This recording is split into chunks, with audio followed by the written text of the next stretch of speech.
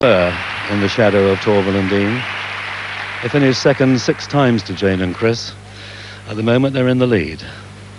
Natalia Bestemianova, Andrei Bukin of the Soviet Union.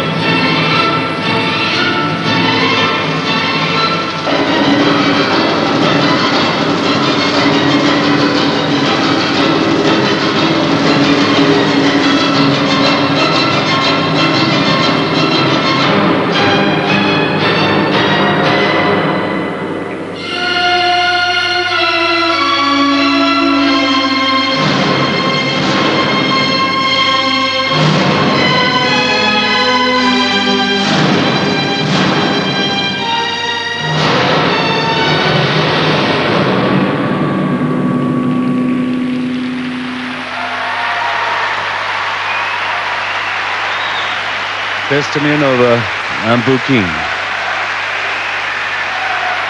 A mixture of high emotion and high-speed skating. Great variation in what they were doing. And she did live up to her reputation at times, didn't she? The fastest mover on skates.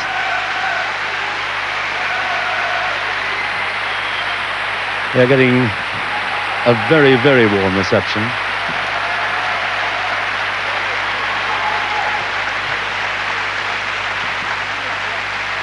The feeling that she shows and displays while she is skating is something else. And the box for and they move, they move, and 5.9, 5.9, they won't have to move very far. Six because if they look up at the scoreboard, which is coming out now, that's the reason Tatiana Tarasova is hugging them. They've done it again. There's a six from Switzerland, for a technical five merit. point nines, and just one 5.8 from Czechoslovakia.